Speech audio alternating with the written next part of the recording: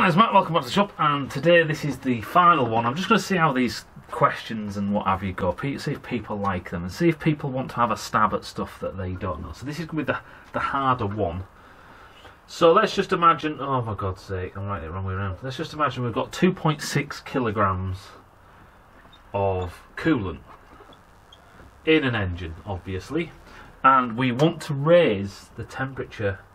Uh, no, the temperature is 80 degrees Celsius, and we are going to increase it by 5 degrees.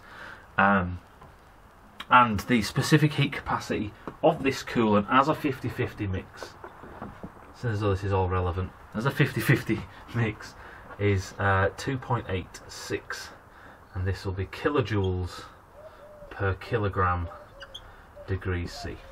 So, how much energy, heat, energy, heat, energy, heat, how much energy or heat is absorbed, um, increasing the temperature from 80, 80 degrees to 85 degrees C.